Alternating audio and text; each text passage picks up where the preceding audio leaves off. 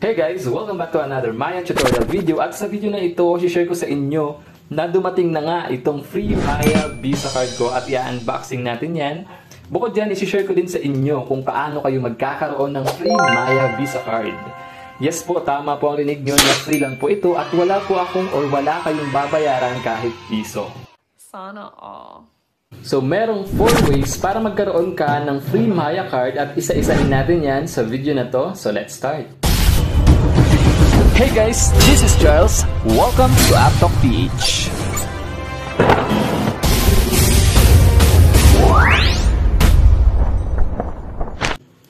So sa una natin ay yung free Maya card for new user. So ito yung requirements para sigurado magkaroon ka ng free Maya card. So ito din ay open sa mga new and existing user. Ang kailangan mo lang gawin ay mag-deposit ka ng 2,000 sa iyong Maya savings account. So kung meron kang pera sa iba mong wallet or other banks, pwede mong i-transfer yan dito sa Maya savings. Kunyari, uh, meron kang pera sa GCash at hindi mo naman ginagamit, i-transfer mo na sa GCash mo at syempre is deposit mo para magkaroon ka nga nitong free Maya Visa card. So malalaman mo lang na eligible ka na kapag nag-text na sa iyo ang Maya na uh, meron ka nang Maya card at kailangan mo lang gawin ay i-claim na lang yan sa inyong voucher. So ito yung example. So ayan, mababasa niyo naman na free Maya card for qualified Maya savings account holder.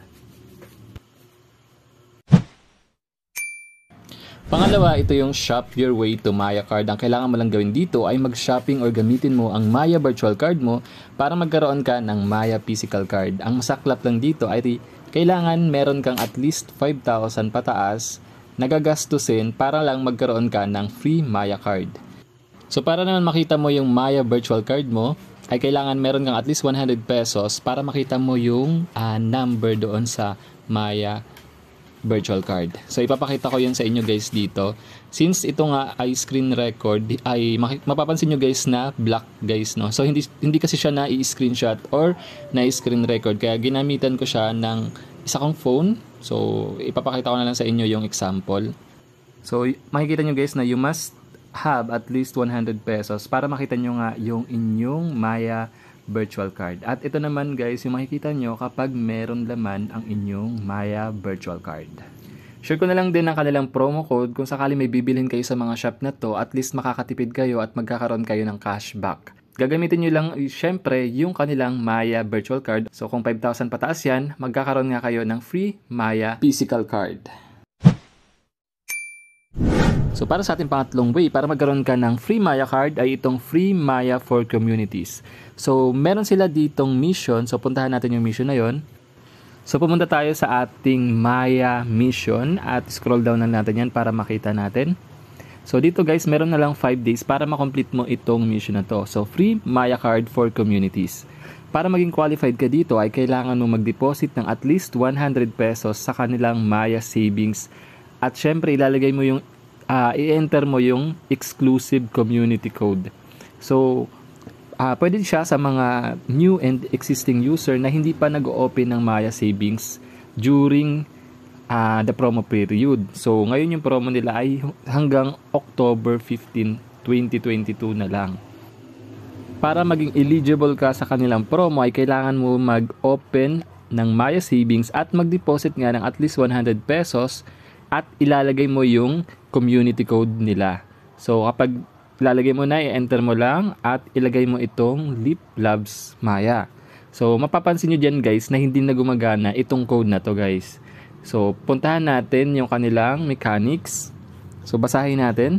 Only the first 500 people to complete the above task will qualify for free Maya card. So siguro ay um, 500 na tao na yung nakapaglagay ng promo ng uh, community code kaya hindi na siya nagana. So malay nyo sa mga susunod na araw or susunod na buwan ay may uh, promo ulit si Maya dito sa kanilang free Maya card for communities. I-update ko kayo sa aking YouTube channel dito nga sa aking YouTube channel at doon sa aking Facebook group. Ilalagay ko yung link sa description at sa comment section para um, maging updated kayo guys.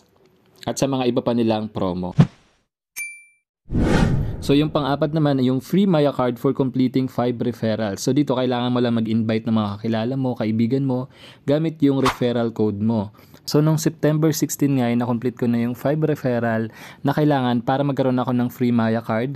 Pero dumating nga yung text message niya noong October 3, 2022. So, ayan guys yung nakalagay. Congratulations for completing 5 referrals. You can now claim your free Maya card. Just follow this step. So, ito yung mga ways guys para magkaroon kayo ng free Maya card.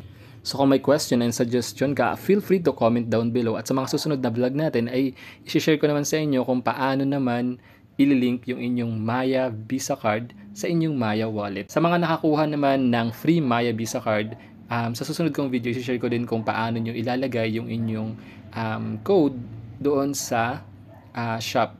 So, kasi marami pa rin hindi nakakaalam nito guys.